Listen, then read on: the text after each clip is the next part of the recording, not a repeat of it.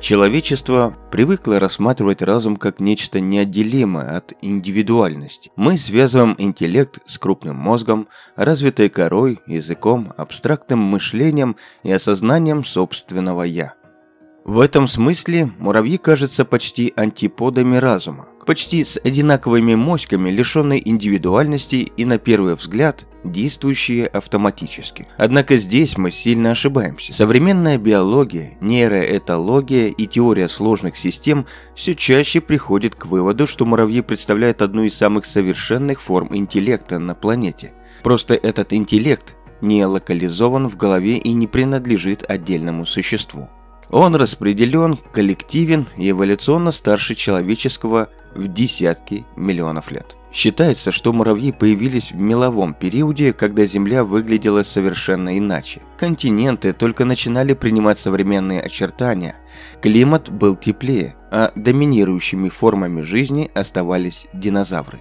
Первые муравьи были невзрачными и немногочисленными – но их социальная организация дала им эволюционное преимущество, которое оказалось решающим. Когда около 66 миллионов лет назад произошло массовое вымирание, уничтожившее большую часть крупных видов, муравьи не просто выжили, они начали стремительно распространяться. Их численность, разнообразие и экологическая роль росли, пока они не стали одной из ключевых сил наземных экосистем. Сегодня известно более 14 тысяч видов муравьев, и почти каждый из них живет в форме колонии. Именно колония, а не отдельные муравьи, является основной единицей жизни. Вне колонии муравьи – биологически ущербное существо, не способное реализовать свой потенциал. Так что добро пожаловать в колонию. Потому что внутри колонии он становится частью системы, обладающей свойствами, которые невозможно объяснить, анализируя отдельные элементы – Современная наука называет такую систему суперорганизмом. Да, колония муравьев ведет себя как единое живое тело. Она регулирует численность, распределяет ресурсы, реагирует на угрозы, изменяет свое поведение в зависимости от условий среды и даже обучается на собственном опыте. При этом у нее нет мозга в привычном смысле. С человеком такое вряд ли получится. Каждый муравей обладает относительно простым набором поведенческих правил, но их взаимодействие создает сложную, адаптивную и устойчивую систему. Исследования последних лет все чаще сравнивают такую организацию с распределенными вычислительными сетями или так называемым жидким мозгом, где интеллект возникает не из централизованного управления, а из множества локальных взаимодействий. Коммуникация муравьев – ключ к пониманию этого феномена. Они не используют звуки или зрительные образы как основной канал передачи информации.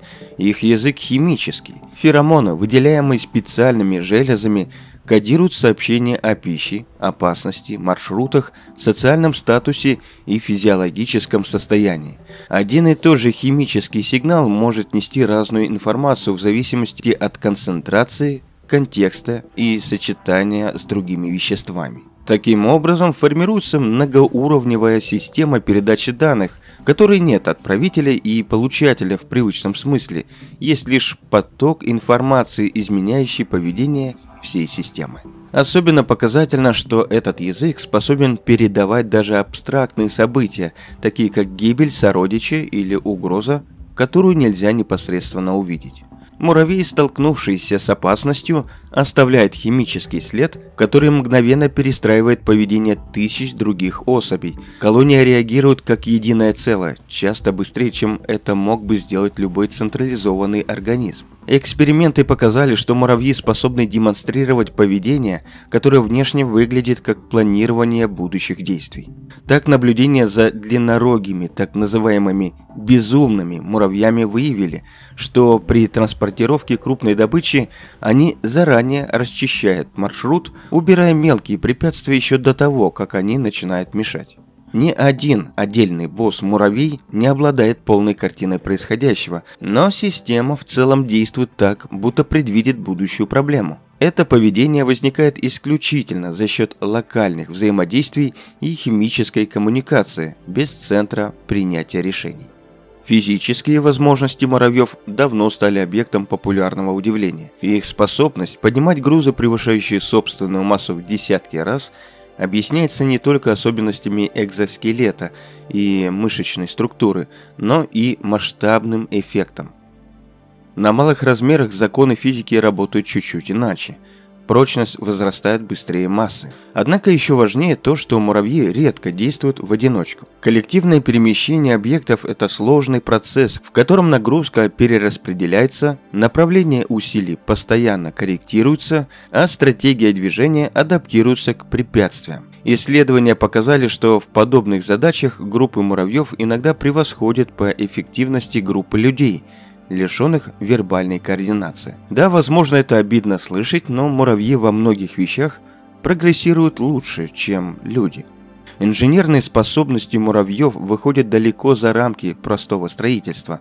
Их гнезда – это сложные архитектурные системы с вентиляцией, терморегуляцией и четким зонированием. Камера для личинок, хранение пищи, отдыха и отходы расположены таким образом, чтобы минимизировать риски и оптимизировать внутренние процессы. И в принципе им можно колонизировать Марс. Более того, некоторые виды способны создавать временные конструкции из собственных тел. Живые мосты и плоты, которые динамически изменяются в зависимости от нагрузки. Такие структуры существуют ровно столько, сколько нужны, и исчезают без следа, как только задача решена. Муравьи также демонстрируют удивительные формы хозяйственной деятельности. Грибные фермы листорезов – это сложные эгроэкосистемы, где муравьи выращивают определенные виды грибов, нося корзинки в лапках. Поддерживают стерильность, контролируют рост и уничтожают паразитов. Это требует точного регулирования условий и коллективного контроля. Другие виды занимаются скотоводством, разводя тлю ради питательных выделений. Они защищают ее как пастуховечек, переносят на новые растения и даже регулируют численность, чтобы сохранить устойчивость системы. Социальная жизнь муравьев включает и темные стороны. Войны между колониями могут быть масштабными и жестокими. Некоторые виды захватывают роскошных личинок и куколок других муравьев, превращая их в рабов в своих скам-центрах. При этом агрессия всегда строго направлена наружу. Внутри колонии царит почти абсолютная кооперация. Распознавание свой-чужой осуществляется по своего рода биометрической системе доступа, а точнее химическому профилю. А эта система идентификации настолько точна, что ошибки практически исключены. Но одним из самых поразительных аспектов муравьиного общества является санитарный контроль. Колонии строгого режима разделяют жилые зоны и зоны для отходов. Погибших особей выносят в специальные усыпальницы, а зараженных изолируют. Некоторые муравьи пускаются во все тяжкие и специализируются на уборке и утилизации, подвергаясь повышенному риску ради защиты всей системы. При угрозе эпидемии муравьи способны менять архитектуру гнезда, уменьшая количество связей между камерами, чтобы замедлить распространение болезни. Это поведение аналогично социальному дистанцированию и возникает без осознания причины исключительно через коллективные сигналы. Как мы знаем, муравьи не имеют легких, ушей или сложных органов зрения, но их восприятие мира чрезвычайно эффективно. Они дышат через трахейную систему, воспринимают вибрации почвы, изменения химического состава воздуха и микроскопические температурные колебания. Их сенсорный мир отличается от нашего, но он идеально приспособлен для коллективного существования. Они подобны инопланетянам, застрявшим на нашей планете. Ну или мы на их. В центре колонии, конечно же, находится матка, чья продолжительность жизни может достигать нескольких десятилетий. Это делает ее одним из самых долгоживущих насекомых. Однако ее роль часто неправильно интерпретируют. Матка – это не тиран в юбке, не управляет колонией и не отдает приказы. Она – репродуктивный центр, обеспечивающий стабильность системы. Это как процессор в материнской плате. Управление же осуществляется снизу вверх через взаимодействие рабочих особей. Если оценить суммарную биомассу муравьев, становится ясно, что они одна из доминирующих форм жизни на суше. Их влияние на почву, растительность и пищевые цепи огромно. Они насыщают почву воздухом, распространяют семена, контролируют численность других организмов и формируют ландшафт на микроуровне. В этом смысле муравьи – настоящие архитекторы биосферы и колонисты. Есть чему поучиться. Современная наука все чаще рассматривает муравьев как модель для изучения коллективного интеллекта. Их поведение вдохновляет разработку алгоритмов, роботехнических систем и сетевых технологий. Но, возможно, главный урок, который они дают человечеству, лежит глубже. Муравьи показывают, что устойчивость, адаптивность и долговечность цивилизации не требуют индивидуального гения или централизованной власти. Они требуют эффективного взаимодействия. Муравьи не догадываются, что они разумны, они просто проживают свою жизнь. У них нет культуры в человеческом смысле, нет философии и истории. Но их общество существует сотни миллионов лет, тогда как человеческая цивилизация лишь мгновение по эволюционным меркам. И если интеллект измерять не способностью осознавать себя, а способностью выживать, адаптироваться и формировать устойчивые системы, то муравьи оказываются не на периферии разума, а в самом его центре.